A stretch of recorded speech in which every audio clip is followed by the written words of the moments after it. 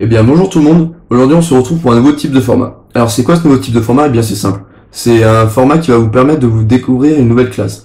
Alors aujourd'hui en, en l'occurrence ça va être le Chamanil. Alors faut savoir que la 6.1 est sortie et que celle-ci apporte son lot de nouveautés. Alors j'avais envie de vous présenter ces nouveautés ainsi que mes petits conseils pour le Chamanil. Alors j'espère que ça va vous plaire, j'espère que ça va vous, que ça va vous aider dans la suite du jeu, j'espère que vous allez aimer le format. Allez, c'est parti, on se lance ça.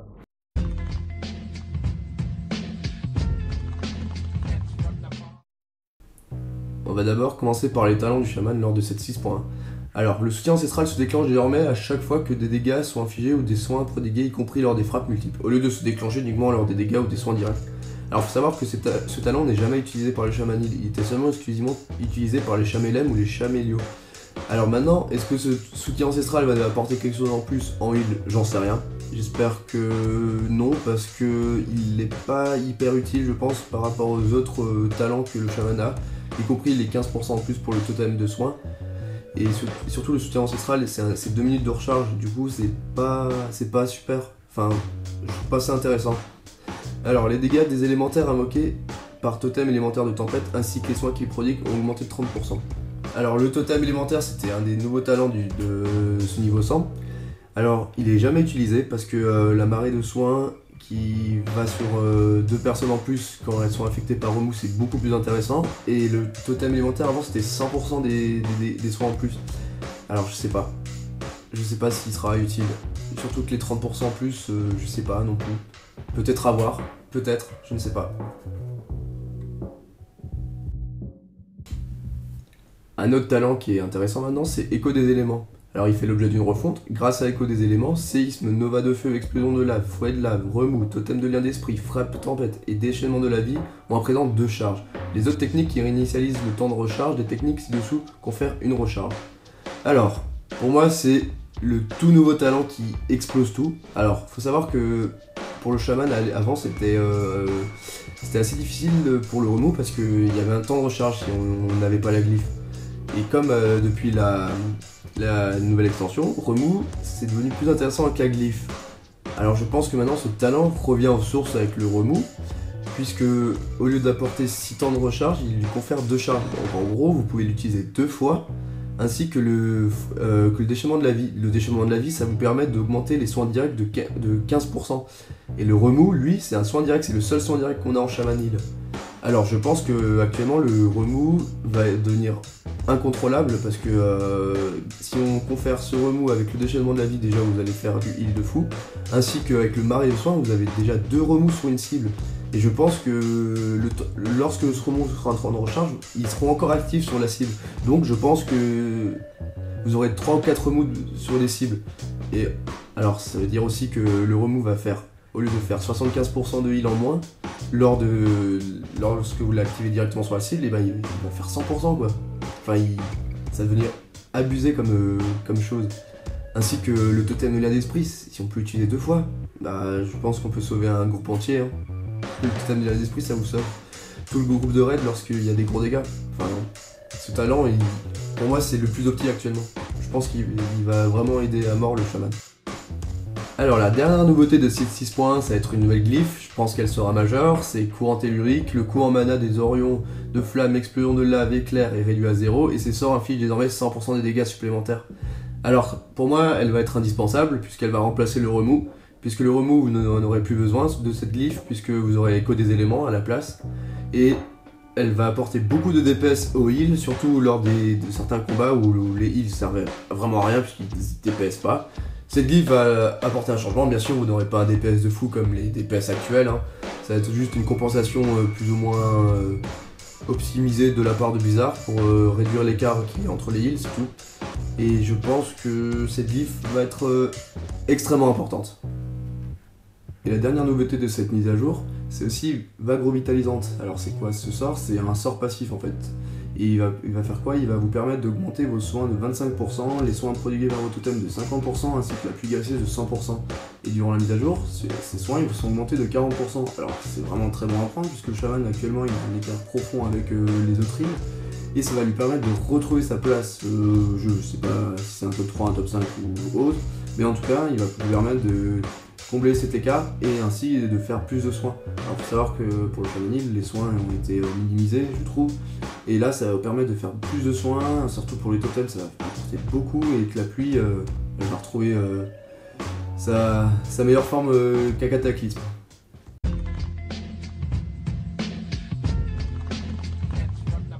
Alors maintenant, on passe au stade principal. Alors, il y a l'intelligence qui est la première stat. Celle-ci va vous permettre d'augmenter vos soins et vos dégâts. Donc, euh, pas de souci à vous faire. Elle est sur tous les stuffs que vous avez pour le chamanil.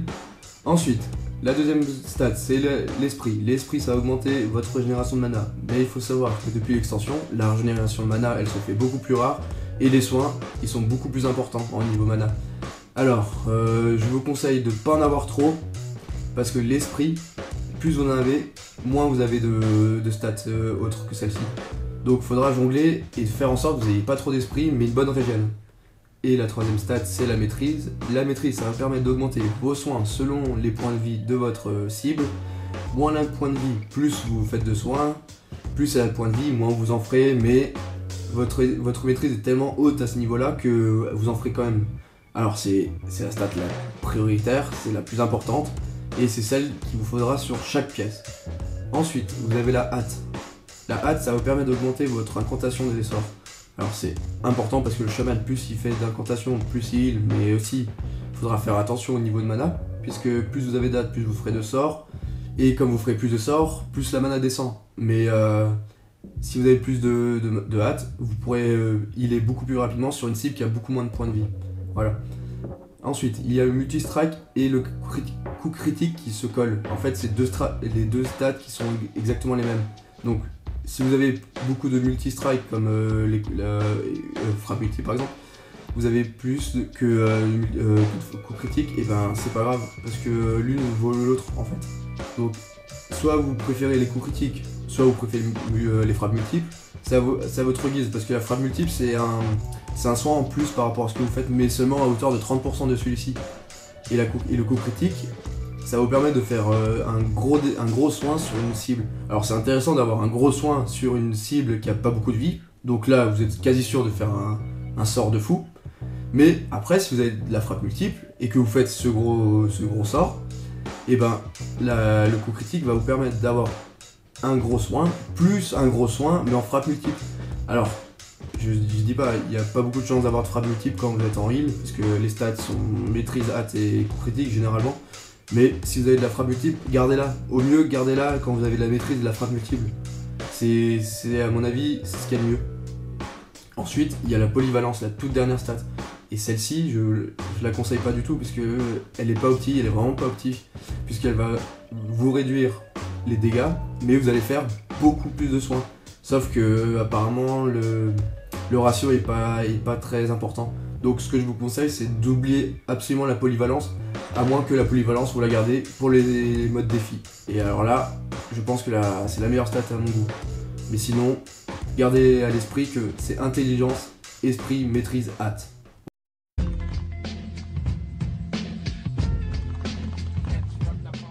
Alors maintenant on va passer aux talents et aux glyphes. Alors on va tout d'abord commencer par les talents. Alors faut savoir que vous avez des talents de 15, 30, 45, 60, 75, 90 et 100. C'est les niveaux, à chacun de ces niveaux vous recevez un point de talent que vous pourrez choisir parmi trois talents.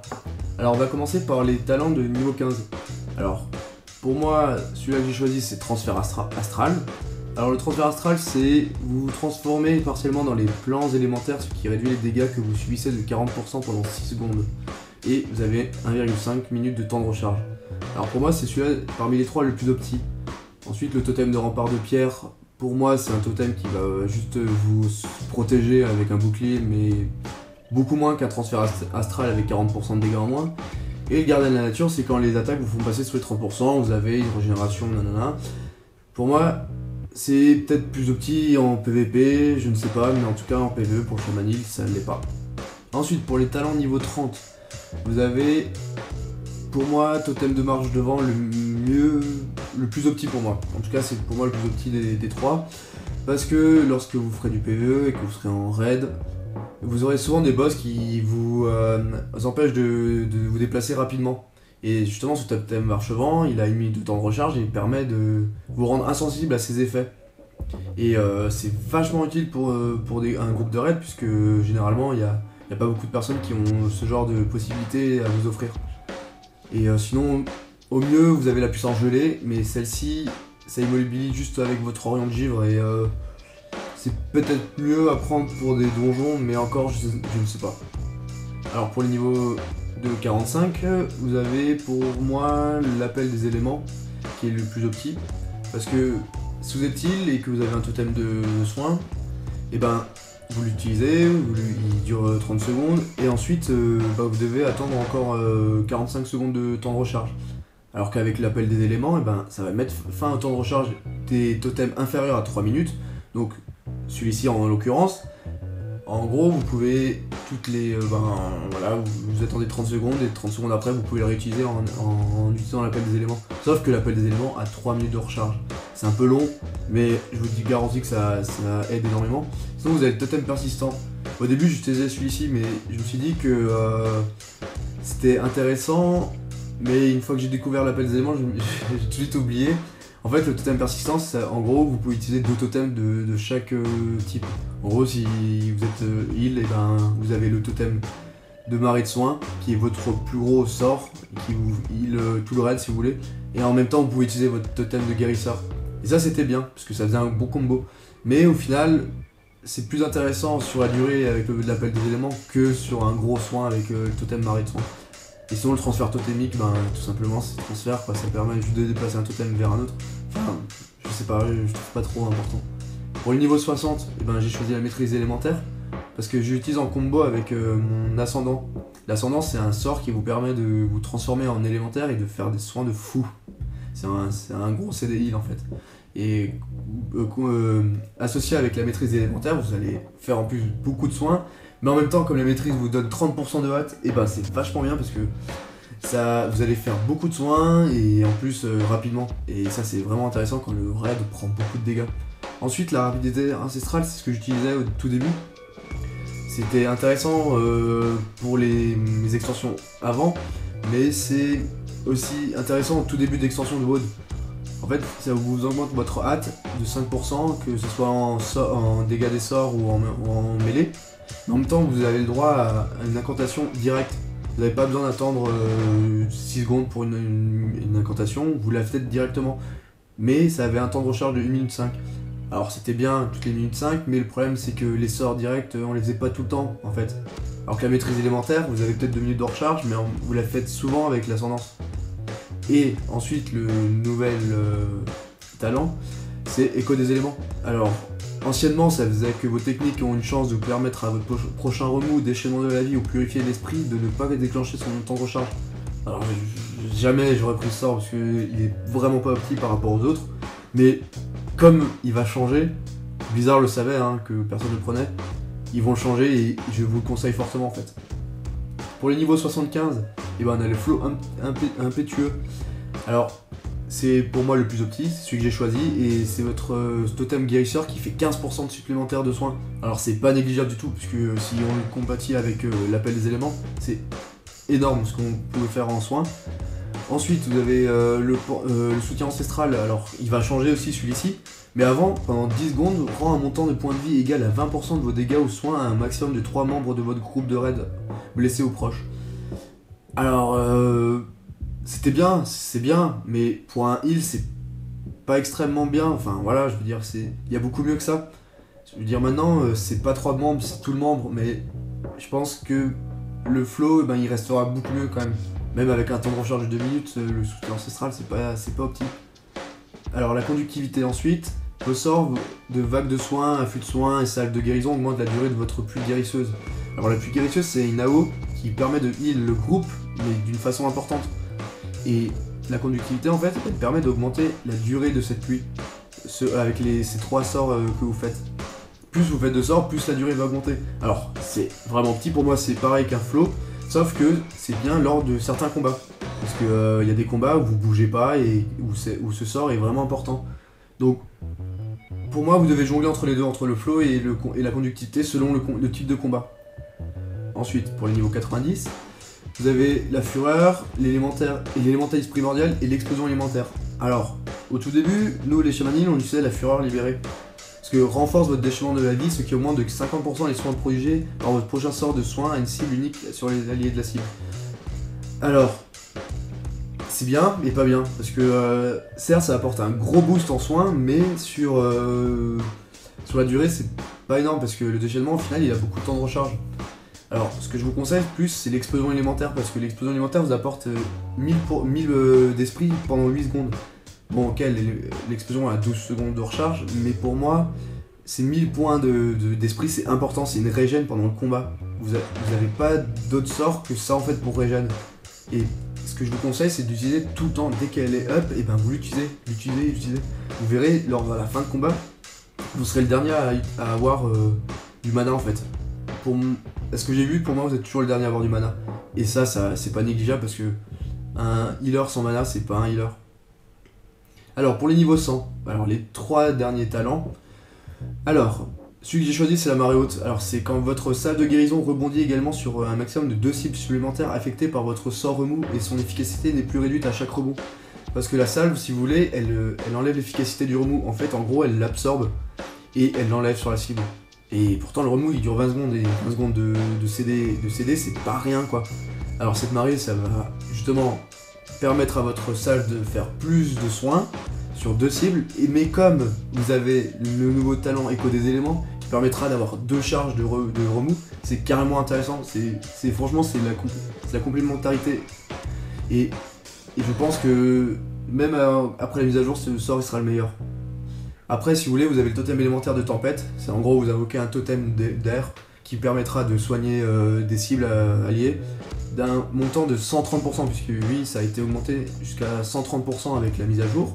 Mais je pense qu'il sera peut-être opti sur certains combats, voire sur un seul ou deux, mais vraiment pas plus. Mais comme dit, il n'aura pas une, forte, un fort impact sur euh, Haute, je pense. Et totem d'explosion nuageuse, pour moi, c'était intéressant. Parce que voilà, c'était un totem qui, permet, qui absorbait les dégâts que vous faisiez tout autour avec le groupe, que ce soit vous, le groupe. Et ensuite, il est redistribué en points de vie. Et c'était intéressant, c'était un 30 recharge de 30 secondes. Mais je pense que comme le stade de guérison, c'est votre plus fort heal, et ben le totem d'explosion est nuageuse, il, il apportera rien. À moins d'un up prochainement, mais je crois pas du tout. Alors maintenant, on va parler des glyphes. Alors, faut savoir que euh, les glyphes se divisent en, deux catégories, les glyphes majeurs et les glyphes mineurs. Les mineurs, c'est un, aspect plus ou moins euh, euh, chouette de- des attaques, qui sont un peu modifiés, voilà, ils changent un peu les aspects. Et les glyphes mineurs, c'est pour les attaques, c'est là où ça va être vraiment intéressant. Alors, moi j'ai choisi trois glyphes majeurs importantes pour le chamanil. Alors, je vais commencer par la glyphe de vague de soins. Alors, celle-ci, votre vague de soins, vous soigne aussi pour un montant égal à 10% de l'effet de soin quand vous soignez quelqu'un d'autre. Alors c'est intéressant puisque quand vous soignez quelqu'un avec une vague de soins, vous allez faire un certain montant. Plus il est haut, plus vous allez vous healer vous-même. Pas besoin de vous healer, de vous cibler vous et puis ensuite de faire le sort. Il le fera tout seul. Bon, c'est 10%, mais c'est jamais. C'est pas négligeable. C'est toujours ça de prix en fait.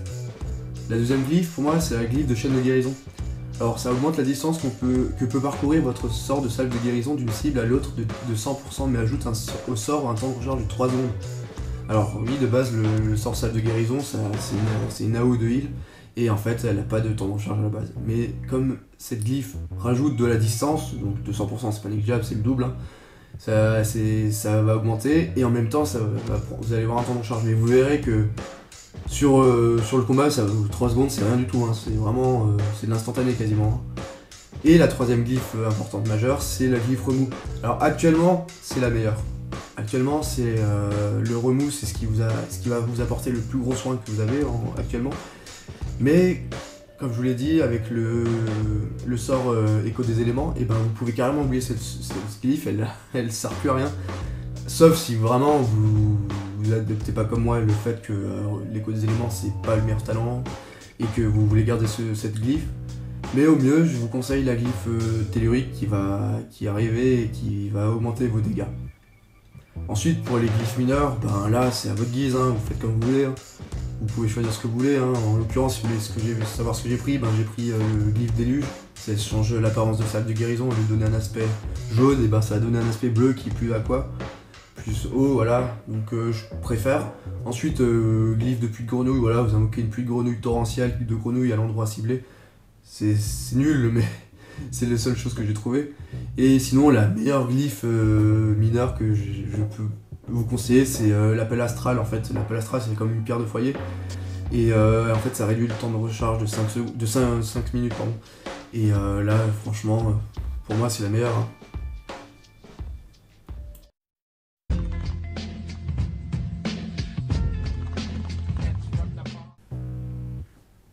Maintenant, on va passer aux enchantements ainsi que les gemmes. Alors, on va tout d'abord commencer par les gemmes. Alors, il faut savoir que pour les gemmes, pour le chaman, c'est simple en fait. Vous, vous devez mettre que des maîtrises, que des gemmes maîtrises. Alors, je vous conseille soit les, 30 les 35 ou les 50. Mais au mieux, sachez que si vous mettez les 50, et ben votre équipement, enfin l'objet auquel euh, vous mettez cette chasse, et ben il augmente de 15, euh, de 15 points son level. En fait, c'est vraiment intéressant puisque si vous en avez plusieurs, ben, en soi le niveau monte pas, mais euh, l'importance de l'objet augmente. Donc, ce que je peux vous conseiller, c'est au mieux de prendre les 50. Si jamais vous n'avez pas les moyens de les prendre ou qu'elles coûtent trop cher, mettez les 35, ça ira tout à fait très bien. Mais euh, sachant que les chasses actuellement sont super rares, je vous conseille de mettre les 50. Alors pour les enchantements, c'est tout aussi simple que les gemmes, et ben c'est que de la maîtrise, il faut mettre que ça. Donc pour les, le coup, je vous conseille vivement de mettre le 75 de maîtrise, c'est ce qu'il y a mieux, mais comme dit, les composants coûtent beaucoup plus cher, donc au mieux mettez les 40. Si jamais euh, pour les autres c'est pareil, alors pour le dos c'est 100, ou alors c'est 100 plus 10% de vitesse en plus. Alors c'est bien, mais justement ils ont fait en sorte de mettre euh, un enchantement qui est quasiment pareil, sauf que vous avez 10% de vitesse en plus. C'était comme à, Mop, hein, c'était la même chose hein, pour les pieds. Mais euh, l'enchantement, il coûte beaucoup moins cher pour juste 100 de maîtrise. hein, et franchement, je vous le conseille vivement parce que ça vous évite de perdre beaucoup trop de cristaux. Ainsi, ensuite, pour les, euh, les- anneaux, et ben, je vous conseille de mettre euh, vivement les 50 de maîtrise en plus. Bon, certes, ça coûte aussi tout- plus cher et euh, sinon, vous avez 30 de maîtrise. Et alors là où ça devient plus intéressant, c'est pour les armes. Alors, je vous conseille le mieux de mettre la marque d'ombre lune, ce qui vous augmente votre esprit de 500 pendant 15 secondes. Donc c'est bon à prendre, puisque si vous avez un écart d'esprit euh, trop faible, et ben, je vous conseille vivement de prendre ce- cet enchantement. Et en plus, au niveau composant, c'est 4 cristaux, au lieu de 15 pour les autres. Alors 15 c'est vraiment quand on se la pète, on vraiment trop riche. Donc euh, je vous conseille de prendre cet enchantement dès le départ.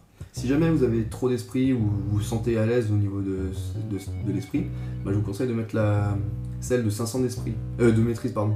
C'est ce qu'il y a de mieux. C'est pour un chaman la maîtrise c'est bon à prendre donc forcément le, l'enchantement en 500 de maîtrise c'est vraiment très bon à prendre donc euh, je vous le conseille fortement et pareil ça vous augmente votre votre maîtrise de 500 pendant 15 secondes donc je vous conseille vivement.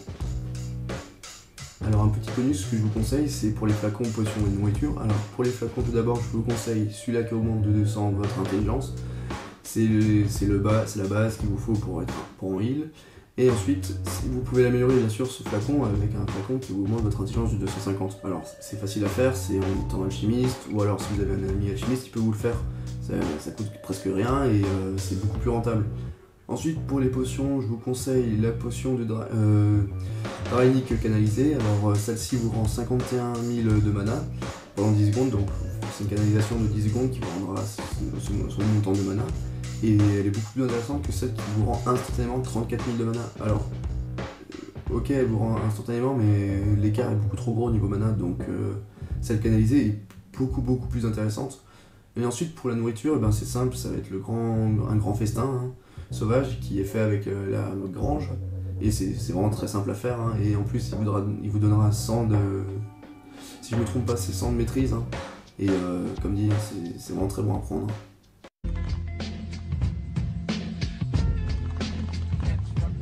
Alors la toute dernière information que vous attendez sur cette vidéo c'est la rotation des sorts. Alors on va faire simple, on va commencer tout de suite. Le déchaînement de la vie c'est le premier sort que vous devez faire. Alors c'est à utiliser lorsque votre tank est, euh, a déjà perdu des points de vie, ça va lui aider euh, légèrement. Mais ce déchaînement de la vie, ensuite vous pourrez utiliser votre remous, parce que ça va augmenter euh, les soins de remous de 30% en plus, parce que c'est un soin direct. Et ensuite ce remous va vous donner un sort passif. Alors c'est plutôt un buff passif, qui s'appelle. Alors Raz-de-marée, qu'est-ce que ça fait C'est après avoir lancé salle de guérison ou remous, vous bénéficiez de l'effet de raz-de-marée, qui réduit le temps d'incantation de votre prochaine vague de soins de 20% et augmente les chances d'effet des critiques de votre prochain influx de soins de 30%. Vous avez deux charges. Alors, c'est le sort le plus important du chaman. C'est ce qui va vous permettre de faire le plus de soins et ensuite de faire les plus gros soins possibles. Alors, il faut savoir que avec le talent écho des éléments, déchaînement de la vie et remous, vous l'avez deux fois, puisqu'on avez deux charges. Alors ce que je vous conseille, c'est vivement, c'est de faire déchaînement de la vie en premier lieu, de faire un remous, de faire vite fait votre euh, vague de soins, de faire les deux mieux, et tout de suite dans la foulée de faire déchaînement de la vie une deuxième fois et votre remous. Ensuite, vous refaites la même manipulation, déchaînement de la vie, puisqu'il sera up euh, avec euh, le temps de recharge, ainsi que le remous. Les coups de charge, vous les, les verrez même pas passer. Voilà ce qui était pour le, les sorts raz-de-marée avec le remous et le déchaînement de la vie. Alors ensuite, il faut savoir que le chaman a des sorts qui permettent de faire beaucoup de soins qu'on appelle AO en fait, comme les DPS et des AO, sauf que là c'est des AO de heal en fait. Et donc euh, je vous conseille vivement que lorsque votre groupe prend de beaucoup de trop de dégâts, c'est d'utiliser votre plus guérisseuse, c'est votre sort principal en AO. Alors la plus guérisseuse, ça va faire un gros cercle autour du groupe et qui va le healer très fortement, surtout qu'avec euh, la nouvelle euh, technique qui permet d'augmenter ses soins de 100%, c'est intéressant.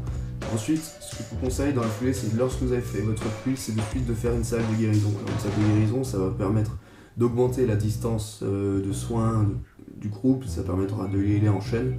Et bon, comme vous le savez, elle aura 3 secondes de recharge, mais en plus vous aurez l'effet de raz-de-marée, donc euh, c'est intéressant. Tout de suite, alors dans la foulée, vous faites votre salve, ensuite vous faites vos deux euh, vagues, de, soins, et ensuite vous recommencez votre salle de guérison, parce que d'ici là, elle sera déjà up.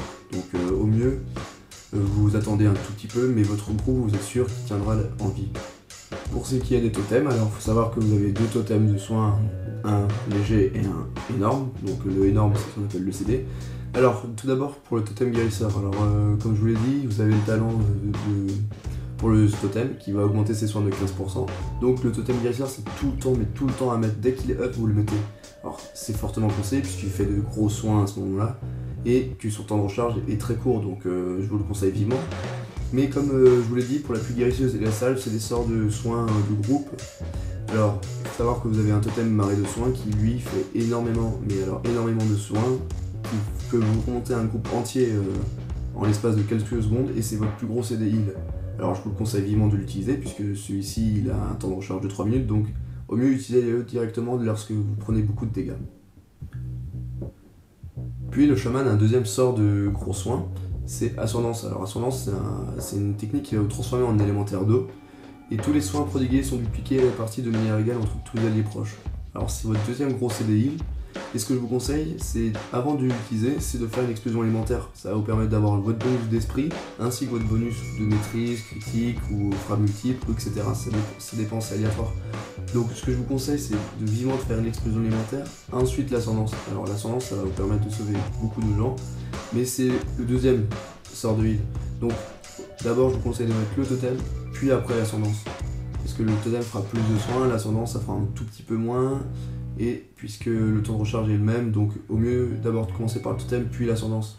Vaut mieux avoir un deuxième totem qu'une deuxième ascendance, même si l'ascendance c'est vraiment un gros gros sort de soin. Alors je vais faire une brève conclusion de, de cette rotation de sorts. Alors on va tout d'abord commencer par le déchirement de la vie. Vous allez faire ensuite votre remous sur le temps, bien sûr, puisque euh, il faut toujours garder actif le remous sur le temps. Vous allez recevoir raz de marée, donc ensuite avec ce raz de marée vous allez faire deux vagues de soins ou une, un- deux afflux de soins selon les dégâts s'ils sont plus ou moins importants. Vous refaites votre rotation déchaînement de la vie remousse sur une deuxième cible, comme ça votre remous est toujours actif. Ensuite, vous faites une salle de guérison parce que vous allez avoir plus de cibles qui auront pris des dégâts, je pense, durant le combat. Donc, vous allez de nouveau avoir raz de marée, pareil, afflux de soins, vague de soins, c'est au choix, sachant que vague de soins aura beaucoup, euh, c'est beaucoup moins de mana. Ensuite, c'est pareil, c'est la même rotation, déchaînement, remous, c'est exactement pareil. Vous allez refaire cette, suite de, sorts de la même manière pendant tout le combat. Sauf si vraiment maintenant vous allez avoir beaucoup de gros dégâts, je vous conseille de mettre une pluie, après suite de beaucoup de salles. Ensuite, gardez bien votre totem guérisseur actif. Si vous avez beaucoup de, de dégâts, vous mettez votre totem de marée de soins ou alors vous faites votre ascendance. Mais vous conseille vivement de faire cette rotation déchaînement, remous, vague de soins de fois, déchaînement, remous, vague de soins de fois, puis une salve. vague de soin deux fois et repareil, déchaînement de la vie, rem- voilà. C'est tout aussi simple que ça.